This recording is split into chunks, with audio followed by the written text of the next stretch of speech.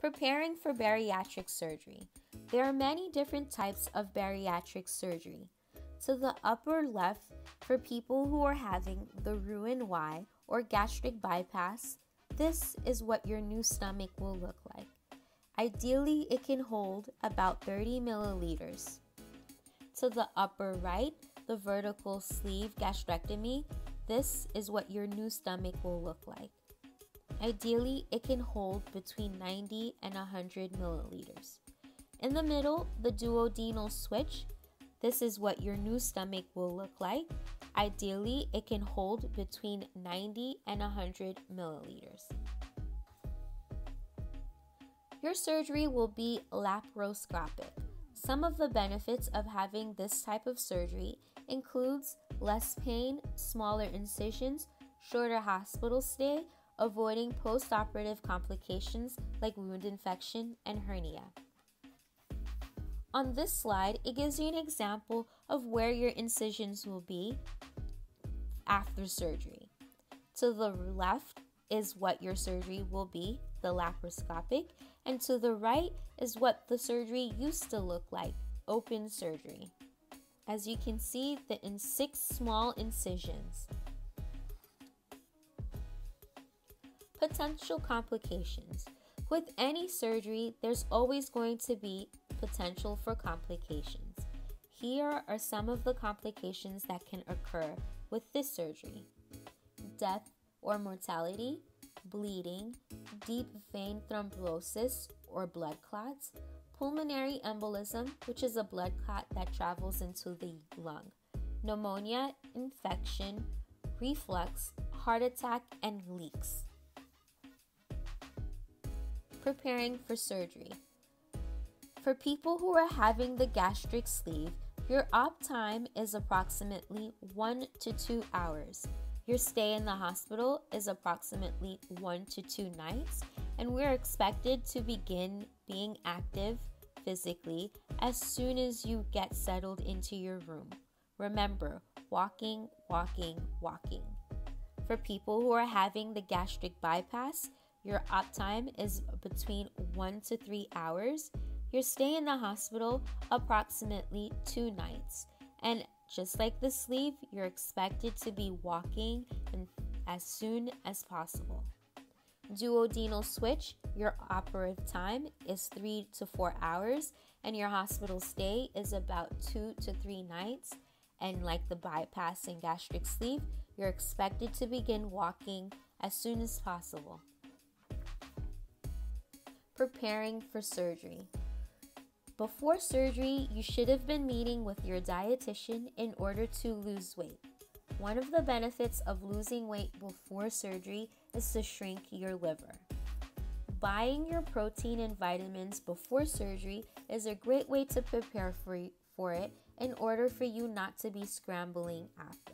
It's important to stop birth control one month to prior to surgery and making sure that you use barrier contraceptive methods. It's important to avoid alcohol two weeks prior to surgery and to stop smoking eight weeks before surgery, at minimum. Avoid aspirin and NSAIDs such as Motrin and blood thinners for seven days before surgery if you are taking a prescription blood thinner or aspirin, discuss the plan with your surgeon, PA, primary doctor, and cardiologist before. Be sure to speak to your primary care doctor or your specialist before surgery to discuss the plan for your prescription medicine before and after surgery.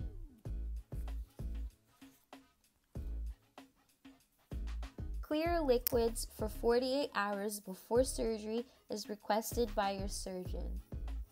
That means anything that you can see through is okay. Feel free to look back at your nutrition packet for more details on what is a clear liquid diet. At midnight, you're requested to have nothing to eat or drink.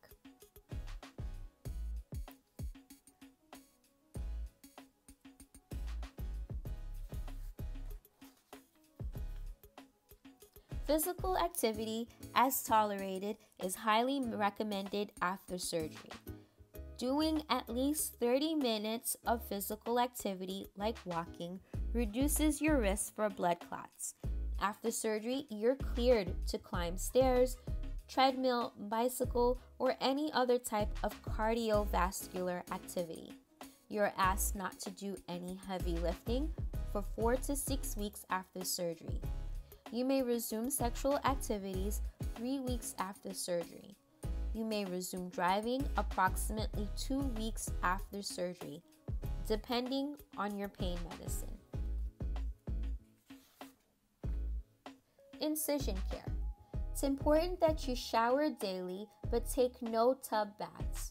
Wash using soap and water, rinse and pat dry. Dermabond will loosen and fall off. Do not apply lotion, cream, or ointment to the Dermabond. Avoid wearing a girdle, abdominal binder, or tight clothing three to four weeks after surgery.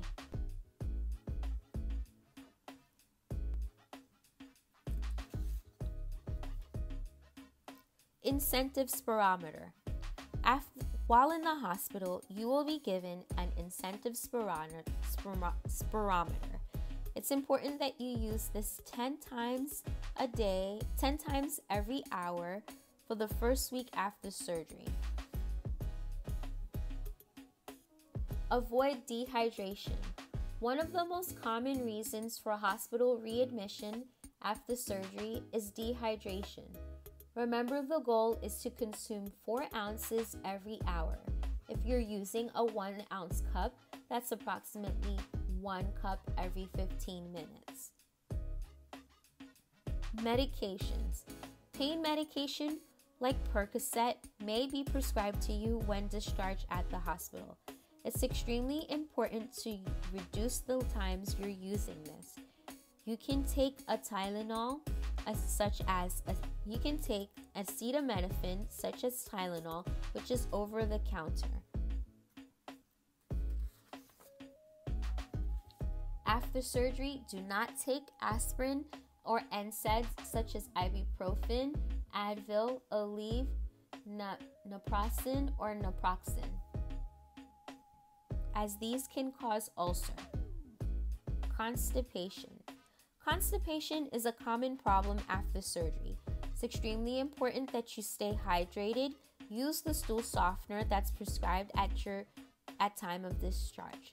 Approximately one month after surgery, you'll be recommended to incorporate Benefiber. Pregnancy after surgery. Female patients must avoid pregnancy for approximately 18 to 24 months after bariatric surgery. If you do become pregnant, it's important to see your OBGYN before bariatric surgery and also after. See your OBGYN before surgery in order to discuss the variety of birth control options if you're tr- planning on getting off of the birth control pill or planning for future pregnancies. Gas or discomfort. Gas or discomfort is common after surgery. Pain can travel to the back or shoulders. Try warm herbal tea over the counter medicine like Gas-X to help with this. Increase physically, physical activity to break up the gas and avoid drinking from a, tr- from a straw, chewing gum, or swallowing air. As mentioned before, it's extremely important to meet with your surgeon, PA, and dietitian in order to make sure that you're on the right track. Please follow up with us one week after your surgery, one month, three months, six months, nine months, a year, a year and a half, two years, and annually after your surgery to make sure that you have the assistance that you need. Thank you and good luck.